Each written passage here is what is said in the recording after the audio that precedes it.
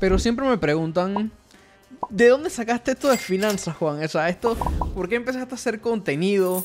¿Qué fue lo que despertó esa chispa en ti? Y si soy bien honesto, me gustaría tener esta motivación enorme de por qué quiero, por qué quise en realidad aprender sobre finanzas. Cuando la verdadera razón es porque quería ser millonario. Muy sencillo. No, no hay una razón más allá de por qué fue que quise aprender de finanzas. Suena medio egoísta, pero es la razón de por qué empecé a indagar en el mundo financiero y en el mundo del dinero, como tal, yo le llamo el juego del dinero.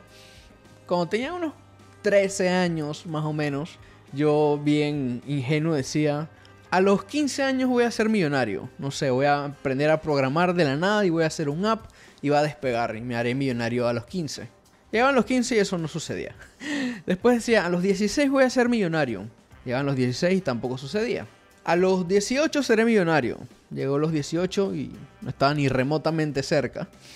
Y ahí me di cuenta, como a los 18 más o menos, en verdad, esta meta, este sueño, por ese momento era un sueño, no lo voy a lograr nunca si no hago algo al respecto. Para este punto no estaba haciendo nada al respecto con, con esa meta, ese sueño.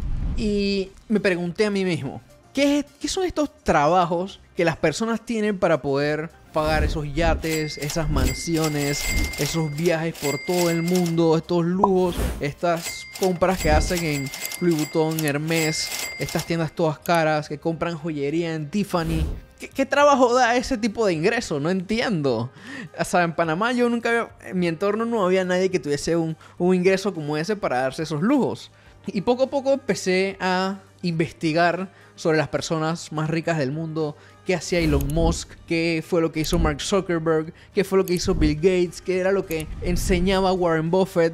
Y empecé a leer, empecé a estudiar, ver videos en YouTube, empecé a, consumir muchos libros al respecto para tratar de entender cómo funcionaba el dinero en realidad para poder recibir esos ingresos tan grandes y poder cumplir la meta de ser millonario y, todo esto, ¿no? Así que creo que de ahí fue donde nació mi afán por, las finanzas. Consumiendo este contenido me di cuenta que me gustaba, me apasionaba. En mi tiempo libre me encontraba viendo videos sobre cuáles son las mejores tarjetas de crédito y tarjetas que ni siquiera estaban disponibles aquí en Panamá. Pero me gustaba, honestamente, y despertó algo en mí. Me dije en un punto como a los 18 años, hey, en verdad esto, esto, esto es lo que me apasiona.